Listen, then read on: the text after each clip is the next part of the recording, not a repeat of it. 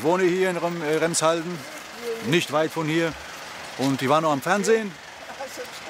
Tschüss, tschüss. Und dann hörte ich plötzlich diesen lauten Knall. Boom. Den ersten habe ich nicht mal wahrgenommen. Da habe ich gedacht, okay, ich schaue weiter. Meine Frau hat mich dann gefragt, hast du das auch gehört? Und ich sage, ja, ich habe es gehört, aber... Und während wir reden, hat es nochmal geknallt. Boom. Aber richtig laut, so wie, wie ein Film in eine Granate. Boom. Ich habe gedacht, das gibt's so nicht. Etwas stimmt nicht. Dann bin ich rausgegangen und dann sehe ich den Rauch da, den Riesenrauch. Boah, und ich, hab, ich wusste, hier ist ein Industriegebiet. Da habe ich gedacht, bestimmt brennt eine Firma oder irgendeine vielleicht Mülldeponie. Ich wusste ja nicht, was hier ist, was für Industrie. Dann kam ich immer näher und näher und dann hat es nochmal geknallt. Viermal hat es geknallt. Und dann waren, sind alle die Feuerwehr gekommen, die Polizei natürlich hat alles abgesperrt. Jetzt, äh, ja, jetzt versuchen die es zu löschen. Aber das hat mir schon ein bisschen äh, Panik gemacht. Also ich, ich hoffe, es ist nichts was Schlimmes. Wir befinden uns hier in Remshalden im Ortsteil Geradstetten. Hier wurde die Feuerwehr gegen 22.50 Uhr mit dem Stichwort Wohnungs- und Gebäudebrand alarmiert. Beim Eintreffen der ersten Kräfte hat sich ein massives Flammenbild gezeigt. Ein Anbau an die Lagerhalle stand im Vollbrand. Es wurde daraufhin vom Einsatzleiter umgehend weitere Kräfte nachalarmiert und natürlich umfassende Löschmaßnahmen vorbereitet bzw. dann durchgeführt. Das Löschwasser wurde initial aus dem Hydrantennetz, sprich aus dem Wassernetz entnommen. Im weiteren Einsatzverlauf wurde es dann aufgrund des enormen Brandgeschehens und damit auch der enormen Wassermenge, die benötigt wurde, zusätzlich Wasser aus der Rems herbeigeführt.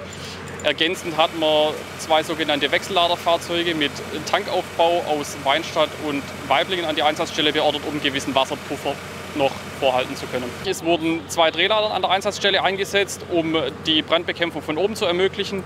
Die zweite Drehlader kam im Rahmen der Anforderung eines zweiten Löschzuges an die Einsatzstelle. Im anfänglichen Einsatzverlauf sind mehrere Gasflaschen, die an dem Anbau gelagert wurden, explodiert was für uns zur Folge hatte, dass wir uns erstmal zurückziehen mussten und die Löschmaßnahmen entsprechend aus der Deckung vornehmen mussten. Die Gefahr bei äh, Zerknall von Druckgasbehältern sind natürlich umherfliegende Splitter, vor denen sich die Einsatzkräfte entsprechend schützen müssen. Die einzig wirksame Schutzmöglichkeit ist hier das Löschen aus der Deckung, sprich sich hinter massiven Teilen zu verstecken und weiterhin den Brand aus der Deckung zu bekämpfen.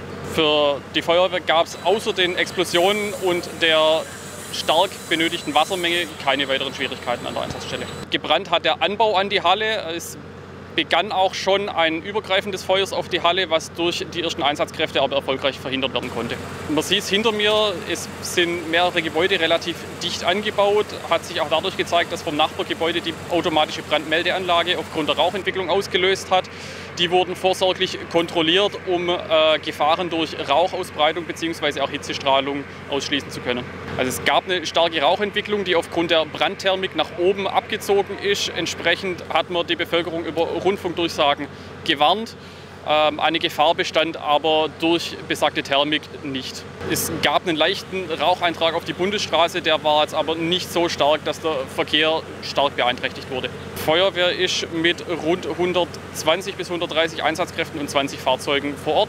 Zusätzlich dann noch äh, der Rettungsdienst mit rund 20 Einsatzkräften, fünf Fahrzeugen sowie die Polizei. Und aktuell wird es noch das THW mit einem Bagger nachgefordert, um entsprechende Nachlöschmaßnahmen zu ermöglichen.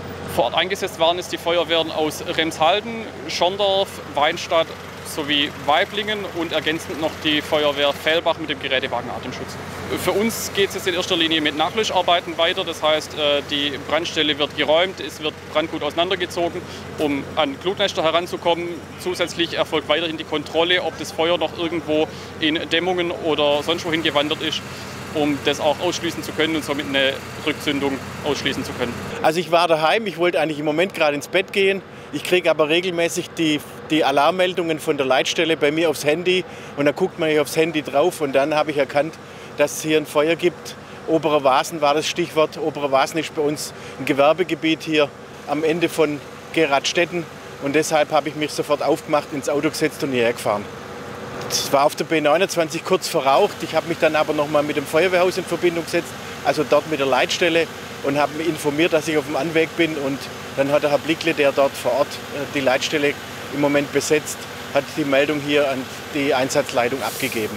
Ich bin jetzt noch nicht hinter gewesen, das ist mit meiner Montur nicht so ideal. Ich bin nicht so ausgerüstet, wie das die Feuerwehr ist, aber wir hatten gerade Einsatzbesprechung gemeinsam mit der Feuerwehr, mit allen Zügen, mit allen äh, Angriffstrupps.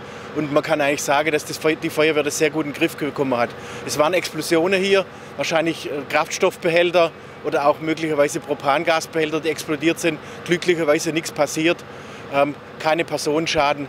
Äh, keine Personenschäden, die jetzt in dem Zusammenhang entstanden sind. Also da bin ich sehr, sehr dankbar. Die Feuerwehr hat sehr besonnen und sorgfältig darauf geachtet und äh, den Einsatz strukturiert. Das war auch gerade die Rückmeldung vom stellvertretenden Kreisbrandmeister, der ja ebenfalls hier im Brand abgekommen ist. Ist nicht notwendig, die Häuser sind alle wieder bewohnbar. Die waren zwar etwas leicht verraucht, aber die Gebäude sind alle wieder bewohnbar und auch die, äh, die Abschottung gegenüber den anderen Firmen das hier notwendig war, weil hier einfach der Brandabstand, die fünf Meter zwischen den Gebäuden liegt. Das hat hervorragend funktioniert und es konnten an der, an der weiteren Stelle keine Schäden entdeckt werden. Also das war äh, eine tolle Einsatzleistung unserer Wehr, die gemeinsam unterstützt wurde von der Weinstädter Wehr, mit der Drehleiter und mit dem Fahrzeug und auch von der Schorndorfer Wehr nochmal eine Drehleiter mit vor Ort, die vor allem von oben dann sehr intensiv löschen können. Auch die Löschwasserversorgung hat hervorragend funktioniert. Zusätzlich eben noch ein Rohr von der Rems, um hier das Löschwasser, die Löschwasserversorgung sicherzustellen.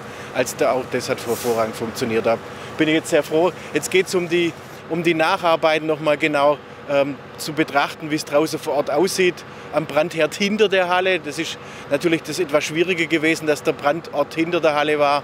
Ähm, und man guckt dann noch mal ganz genau, möglicherweise auch mit äh, entsprechenden Spezialisten von der Polizei, um ermitteln zu können, wo der Brand überhaupt entstanden ist.